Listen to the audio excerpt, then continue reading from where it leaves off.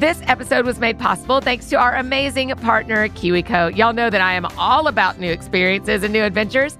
A new year is always a great time to discover new things about ourselves and our interests. And it is just as important for the kids in our lives to make the same discoveries. I really love the bottle rocket crate where you can make your own rocket and then launch it into the air for real mini BFFs. You can also play around with how high you want it to go. It, so cool.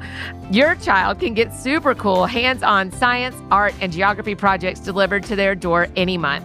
And I have a feeling it will be a pretty exciting day when that box arrives each month. So give your kids the tools to learn new skills, build new experiences, and make new connections. Redefine learning with play and get 50% off. That's 50 off your first month, plus free shipping on any crate line with the code MINIBFF at kiwico.com. That's 50% off your first month at kiwico.com, promo code MINIBFF.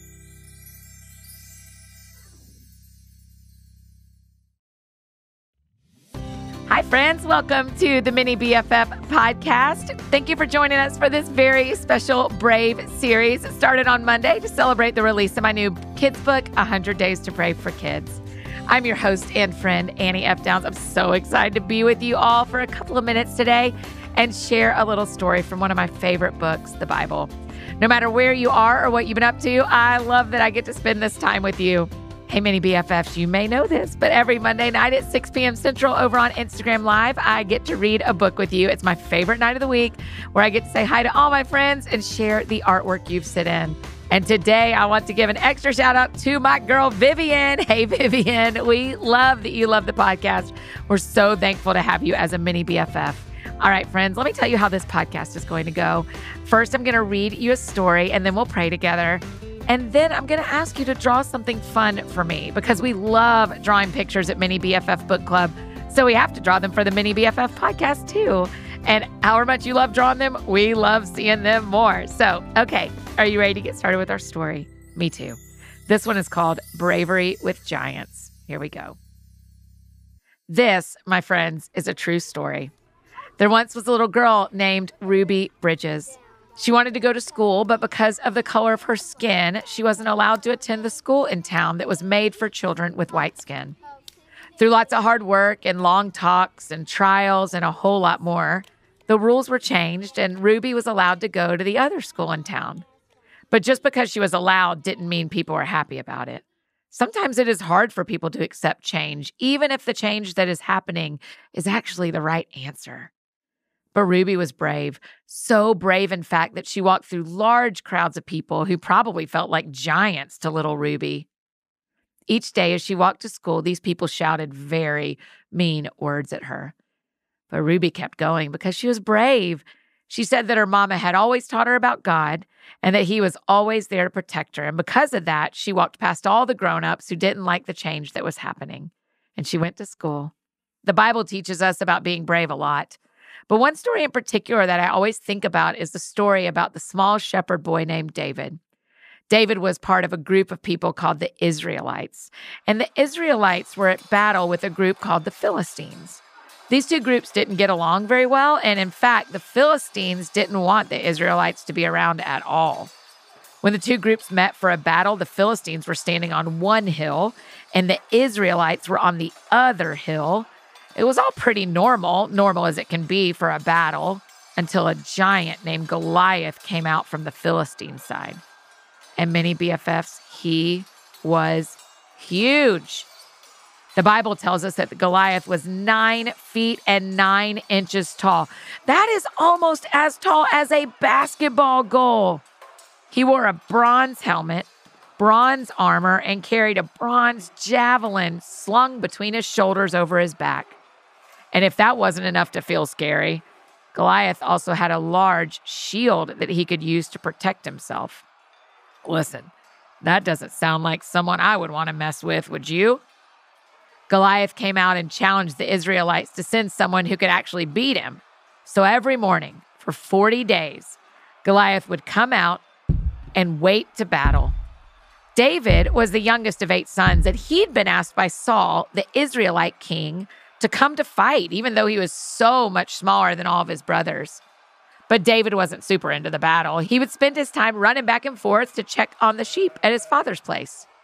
One day he went back to the valley where the battle was taking place and saw Goliath come out and wait for someone who would fight him. Saul, who was the leader, remember, he's the king of the Israelites and he's in charge of the battle. He was really discouraged. But David told him not to be discouraged, that he could go and fight Goliath. Now, Saul was a little unsure about this. In fact, he told David, You can't go fight this Philistine. You're just a child, and he is a warrior. But David told Saul that just because he was younger didn't mean he wasn't capable of fighting this giant. By being a shepherd, David fought off all sorts of animals to protect the sheep. He told Saul that he knew the Lord would protect him from someone like Goliath. Saul told him to go and fight, so David did. At first, they put armor on David, but it didn't fit very well. So David took it off and he walked into battle with only his shepherd's staff, five smooth stones, and a sling in his hands. The giant came closer and closer to David. He started yelling mean things, and David stood there unprotected by visual armor, but completely covered in the armor only God can provide. David shouted back, You come against me with a sword and a spear and a javelin, but I come against you in the name of the Lord. This made Goliath angry.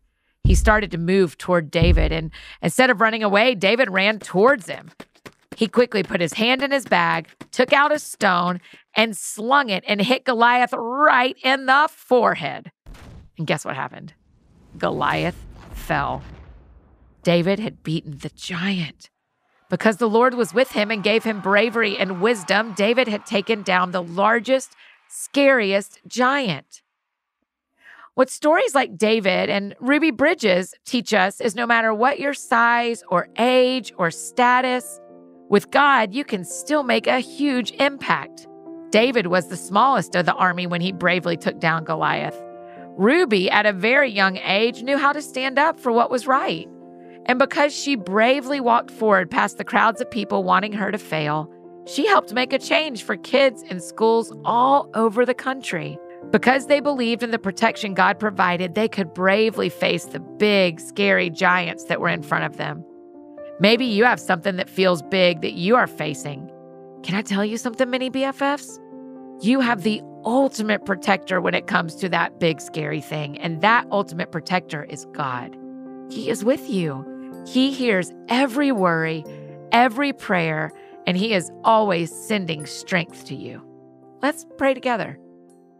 Dear God, thank you for providing us with all the strength we need to fight the battles each day.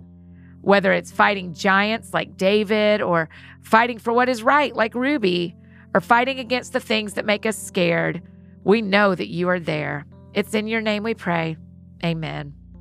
Oh, mini BFFs, I love hearing about people being brave, but I especially love it when it's kids who show us bravery. So, for our drawing today, can you draw me a picture of David and Goliath? I can't wait to see what you come up with. So, draw a picture and then grab a grown up to either tag Mini BFF Book Club on Instagram or mail it to P.O. Box 121826, Nashville, Tennessee 37212. Mini BFFs, if you want to read even more about being brave, my newest book, 100 Days to Brave for Kids, comes out on February 8th.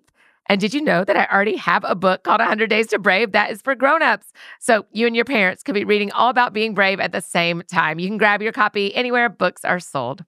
Mini BFFs, thank you so much for spending time with me today. I'm always so happy to have you here with us. Remember, be kind to your grown-ups, your teachers, and your friends, and I'll see you next time. And hey, grown-ups, if you want to talk more about today's story, we read from 1 Samuel 17. And if you want to learn more about Ruby Bridges, you can just Google her. There's a lot of her story to be seen and read. And because we're doing this special series, we've got another episode of the Brave series coming for you on Friday. So we'll see you then. Bye, mini BFFs. Love you, mean it.